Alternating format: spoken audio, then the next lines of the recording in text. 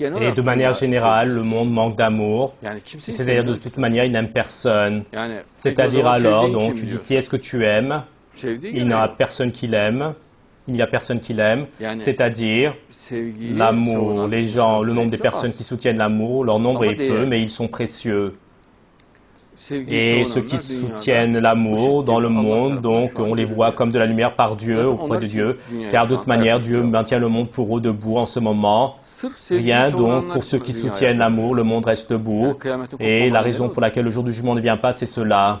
Par exemple, en Turquie, donc sous forme de lumière, on voit ces gens.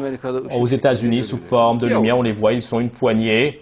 Et rien que pour eux, Dieu fait poursuivre le monde. Et ensuite, donc, le, donc, le nombre de ces... Cette, lumière va envelopper chaque endroit.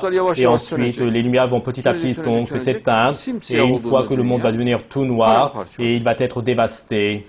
Et c'est-à-dire, il n'y a plus donc de raison pour que le monde continue. Voilà, c'est cela.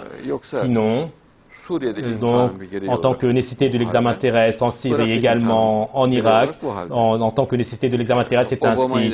Et même donc, c'est Dieu qui a, mis Obama au pouvoir, qui le crée, et tous, à l'intérieur du plan de l'événement du Mahdi, ont pris leur place, et tous sont une partie de ce plan de l'événement du Mahdi. Obama est une partie, Monsieur le Premier ministre Erdogan est une partie, Poutine est une partie de ce plan.